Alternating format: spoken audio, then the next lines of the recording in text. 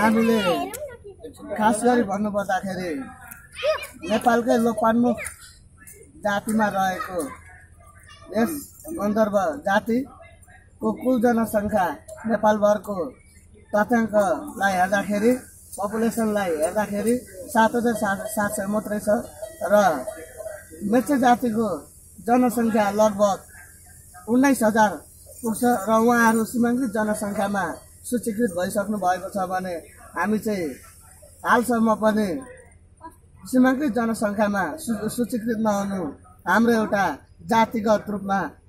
मूल समस्या नै हो र मुख्य समस्या नै हो र अब हामीले यस नेपालको परिवेशमा हेर्दाखेरि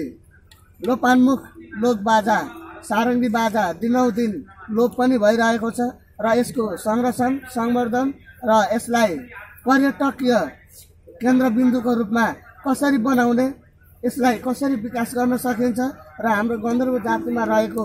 रोजगारीको रोजगारी रोजगारीको स्तर उन्नति शिक्षाको स्तर उन्नति र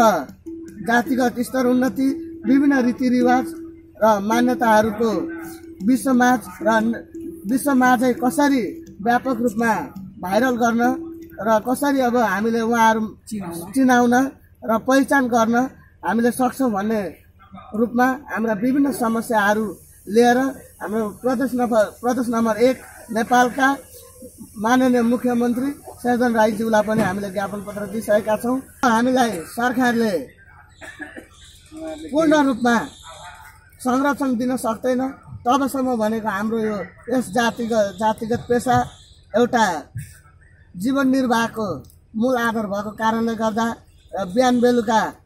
घाँसबास र छाक टार्नको लागि त्यो बजाउनै पर्ने हुन्छ र जबसम्म हामीलाई सरकारले पूर्ण रूपमा संरक्षण दिँदैन तबसम्म भनेको हाम्रो यस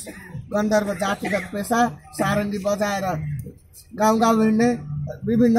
घर घर हिँड्ने घर दैलो हिँड्ने विभिन्न पहाड मधेस तराई केही नभने रात दिन बर्खा झरी हिउँदो पानी त्यस्तो केही नभनिकन